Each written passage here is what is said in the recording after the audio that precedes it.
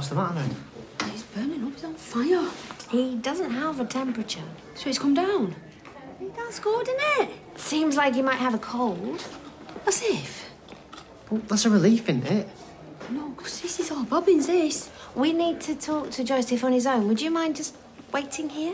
Yeah, of course. Go on, Joseph. Do what the doctor says. Thank you.